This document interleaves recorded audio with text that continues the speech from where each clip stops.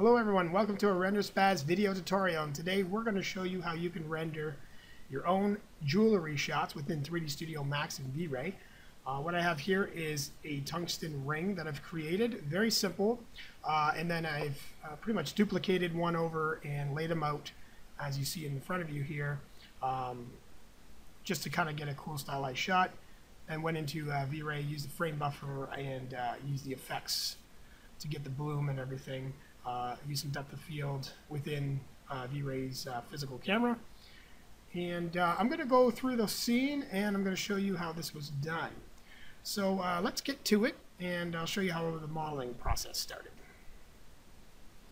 Alright, so what we've done was uh, to model the ring, we used a tube. Alright, so we just drag it out on the screen. I'm not really worried about scale at this moment. I just want to get something laid out. Alright, so we started off with a tube. Um, we make sure our angle snaps are on. And I go through here and rotate to 90 degrees. Alright, so I'm just going to briefly go over uh, with the modeling process here. I'm not going right in depth with it, but uh, you'll definitely uh, get the idea here uh, based off this. So um, 36 sides. We don't need all these height segments for now. We can just go with that. So we're going to convert this to an editable poly. I'm going to select the inner, uh, these uh, edges here on the face. Okay, we're going to hit ring.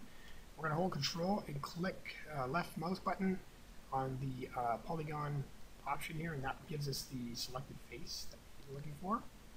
All right, and what we're going to do is uh, we can inset. All right, so this will give us a Whoops. Got that all mixed up there. Let's go back. Get that of poly. Alright. Inset. Just to get some close here. Alright, then from there we're going to extrude. We want to make sure that we're on local normal. We'll bring ourselves down here. Too big. Okay, we can use the scale tool if we like and just bring this in. Okay, just so it's not too, now for like this, it's going to be too hard of an edge, but you could do that. I mean, jewelry could be designed in uh, various ways. Alright, once you have that, we can then go to the faces here, both sides. Select each edge, hit ring, will connect. Now we have a nice uh, edge going across the middle there. So we're going to loop this guy. I'm going to do this uh, freestyling a little bit here, a little bit of uh, just go by eye. Grab that one, hit loop. Let's go to a left view here. So match this as close as we can get it. Okay. Perspective, I'm going to go over to grid off for now. We're going to need an edge on this, on these two panels here, or sorry, on these two edges, these inner edges here. We're going to loop, one chamfer, okay, and that'll give us some, uh, see here, 261, sure. Okay, so this is pretty good. We brought that out. Um, you might want to create an edge on this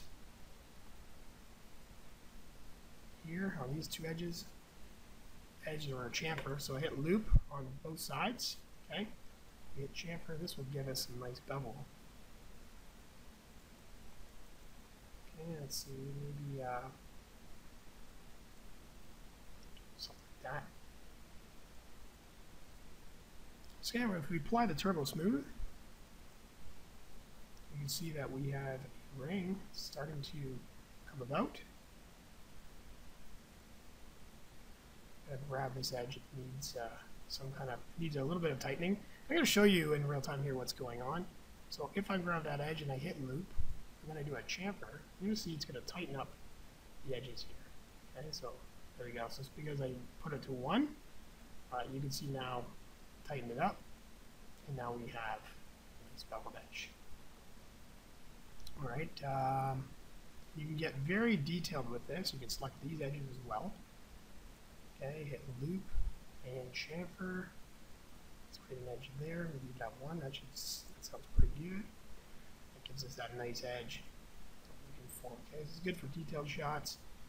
Uh, and that's pretty much it. That's straightforward. That's how we've um, created the ring in that sort of style, that technique, okay? All right, so now what we're going to do is we're going to go into our scene and I'm going to show you how I placed everything down and how I set up the whole entire scene. So what we have is the ring, pretty much what we've created uh, just now. Uh, but what I've done was I, let's get out of there and go into the perspective mode here. Um, so I laid it down in 90 degrees and then I duplicated one of the rings over and I just manually moved each of that, uh, this one here, just manually moved it and placed it down. And I want to make sure that uh, it stays on the floor.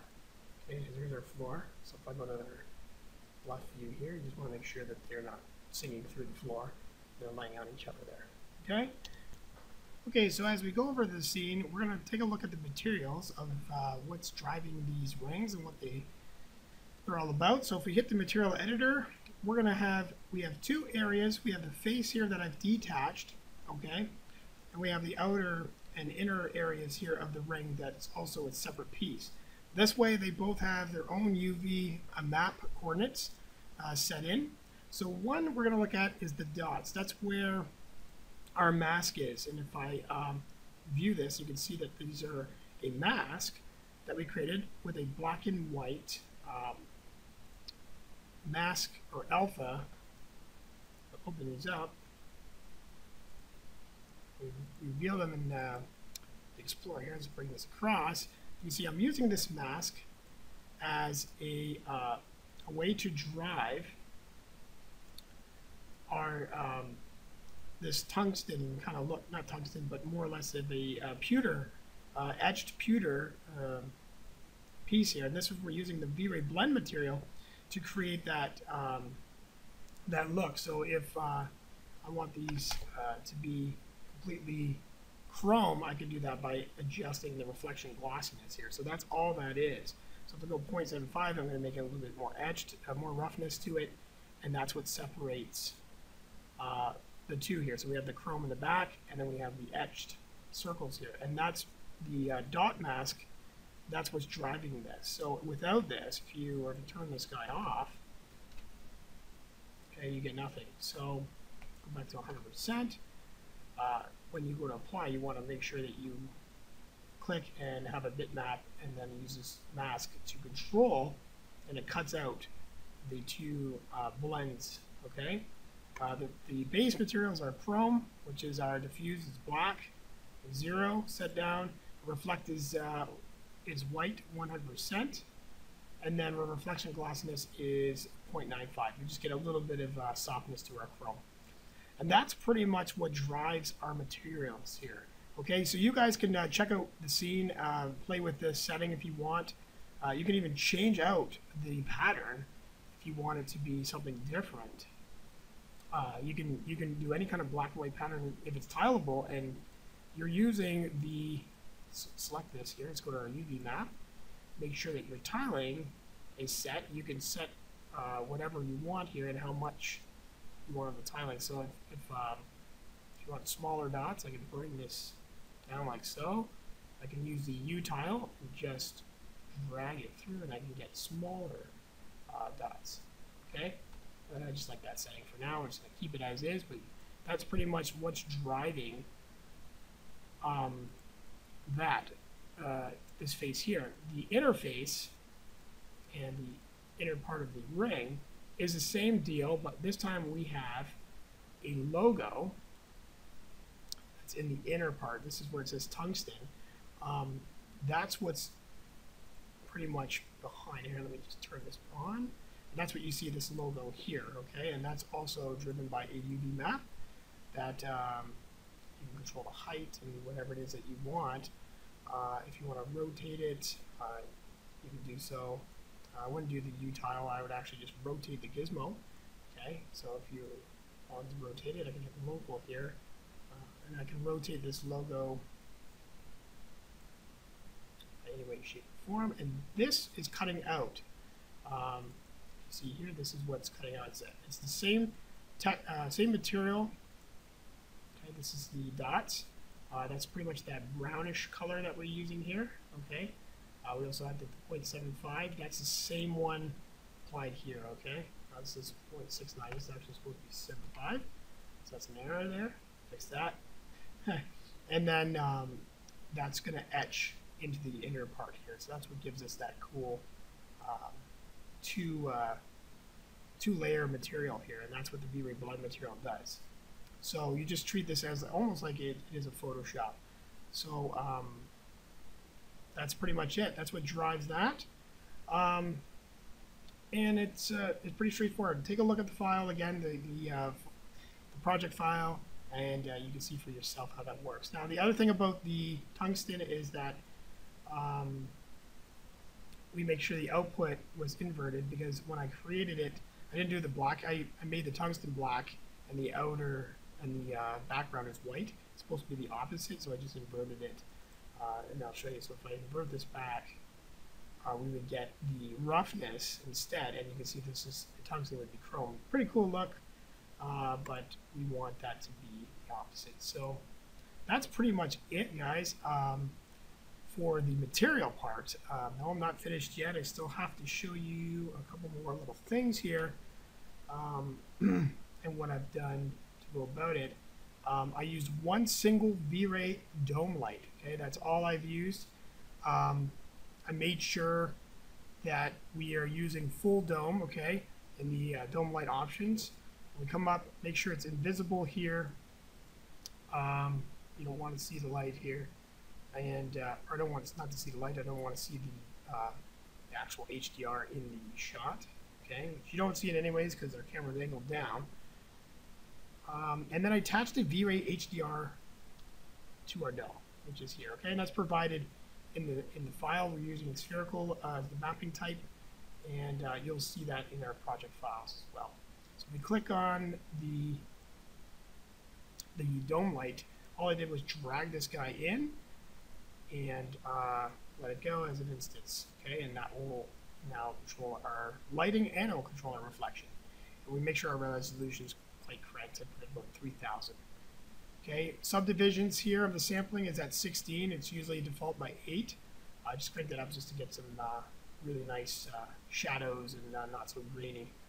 Okay, our render setup is straightforward. We go into the V-Ray. Uh, let's just let's break this all down.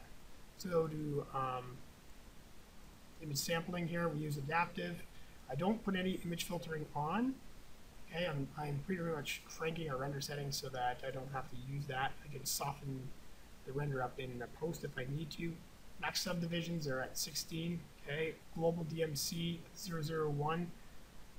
Um, that will help with the noise. That takes it right down. Uh, our global illumination is turned on. We have primary engine using brute force and our secondary is, engine is light cache, okay? I just leave light cache as is. I don't touch that. It's at a high setting, 1000. Um, you could actually to speed things up use uh, for glossy rays. I'm going to put that on, um, which I should have had on. Brute force um, is set to 24 subdivisions, so it's very high, uh, but it gives us a nice, a nice look there. Okay, if you want, you could go with the irradiance map, but I'm going to go with brute force. Um, that's pretty much it. Uh, maybe crank up our memory a bit. Okay, I got 24 gigs of RAM. I'll use 1600 for now, that's fine. Going to use it all up. And uh, put out whatever output it is that you want. Hit render. And there you have it, right? Actually, no. One more thing. Let's go to the camera settings. I'm getting ahead of myself here. So our camera settings, um, now this is going to be a little different. Um, when we look at it, we're at f-stop 22, okay? I'm actually avoiding the exposure controls and the vignette. So I took those off and I'm going with my own kind of uh, just kind of outrageous numbers here. But uh, depending on your scene scale, your depth of field is going to be different. So um, for now, I'm going with the 22. Okay, um, this shouldn't have a tilt shift at all. I why that did. Okay, focus distance. Um, what I'm doing is I am making sure that this blue grid is our focus point. That's where everything's going to be sharp, and then these uh, two other um, grids that are lighter blue are going to be the out of focus. It's when it starts to leave, okay, where the sharpness is. Uh, that's where it starts getting mushy. Okay, so here um, we're going to keep it sharp, and if I change this number, see this will be less sharp, or sorry, less uh, depth of field, but as I bring this closer together, um, it starts to tighten up. Okay, so I'm just controlling it like that, and I know that I'm going to get a real nice depth of field, a nice macro shot. It's going to look quite nice. Um, I went to our white balance as a neutral. Our blades are at 5. Our sampling depth of field is turned on. Make sure that's on to get the effect. And uh, our shutter speed set it to 5. It's very low. So these are very these are different numbers, um, but it's it's getting the look that I want, and uh, I'm just going to go with it. Not a big deal. So I hit Control, or uh, sorry, C for uh, the camera, and uh, once we snap back in, hit render, uh, now we're good to go. And then pretty much from there, we have the bloom controls that we turn on. I uh, have these settings, and that will give us the bloom that effect that we have. So I got to try to pull that render back up. Okay, you can see it now. I have the bloom uh, that gives us a little bit of uh, nice highlights and uh, looks a little bit dreamy. Uh, and that's pretty much it. I did a little bit of curve correction. Um, nothing, uh, nothing very fancy there. It just uh, turned out to be a nice render. Depth of field is looking really nice. And that's it, guys. Uh, check out the um, project file. Let me know what you think. Try to create your own. Uh, and um, yes, best of luck with it. And uh, hope you guys learned something from this. stay tuned for more tutorials. A lot of stuff on the plate at renderspaz.com. So stay tuned for some more updates, and uh, we'll catch you guys later. Thank you.